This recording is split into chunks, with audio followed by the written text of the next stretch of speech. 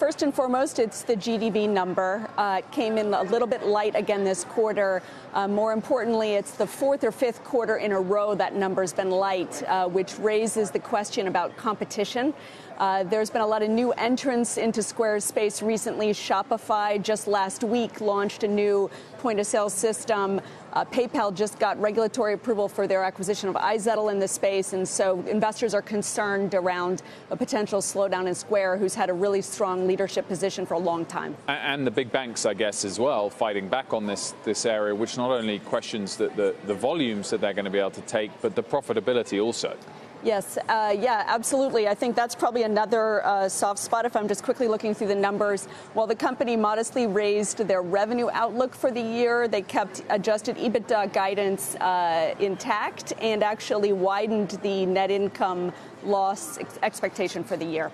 Yeah. What about the other services that Deirdre mentioned that had been a source of and still continue to be a source of growth. Yeah, absolutely. Subscription and services has been the real strong point over the last year. A lot of that is things like Caviar, Instant Deposit, Cash App. But I think uh, digging into that one a little bit, while the overall number is definitely strong, it's up over 120% year on year. Within that, Square Capital, uh, which is their loans to small businesses, is up meaningfully 50% year on year, which means that some of the other services decelerated. And so investors are probably a little bit more worried about that deceleration in the other services that's implied in there. How should investors be viewing this this group then? Uh, if it seems as if it's developing into very crowded, uh, sort of a zero sum game.